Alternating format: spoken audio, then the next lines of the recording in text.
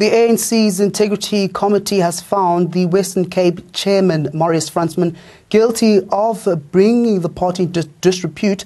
This is according to a newspaper report published this weekend. The news report claims that the ANC now wants Fransman to relinquish all elected position and not be eligible for election to any ANC structure for two years. It made this finding based on its view that Fransman's accuser, Louisa Wynand's testimony was reliable.